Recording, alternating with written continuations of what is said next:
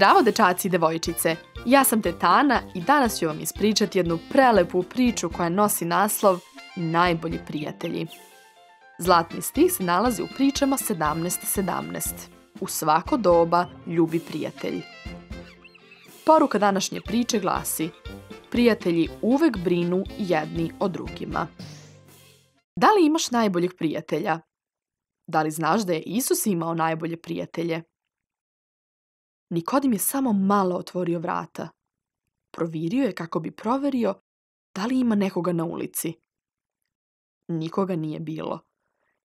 Tiho je zatvorio vrata i krenuo prema gradskoj kapiji. Dok je hodao, razmišljao je o novom učitelju. Slušao ga je kako poučava. Nikodim je proučavao svoje biblijske svitke i bio je siguran da je Bog poslao tog novog učitelja. Nikodim je bio skoro potpuno siguran da je taj novi učitelj obećani spasitelj, Mesija koga su dugo čekali. Ali Nikodim je želao da se lično uveri u to. Nikodim je imao važne prijatelje. Ovaj učitelj nije bio popularan. Nikodimovim prijateljima nije se sviđao novi učitelj.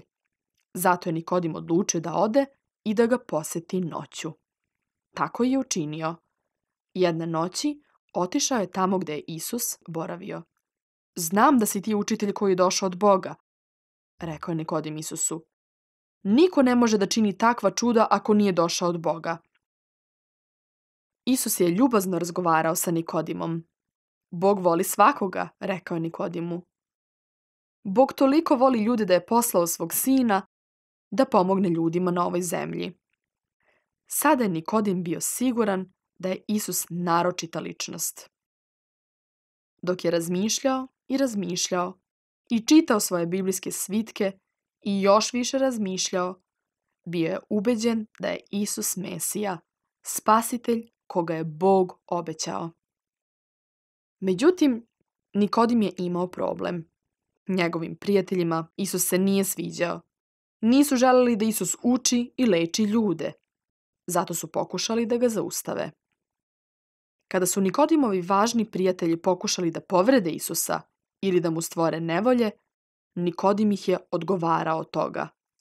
Nemojte to da radite, govorio im je. To nije dobro. Naš zakon ne kaže tako. Kada je Isus umro, Nikodim je došao da pomogne. Nije se brinuo da li će ga videti njegovi važni prijatelji. Nikodim je bio tajni prijatelj nekada, ali sada su svi mogli da vide da je on Isusov prijatelj. Nikodim je bio veoma bogat. On je sav svoj novac potrošio pomažući drugima da upoznaju Isusa.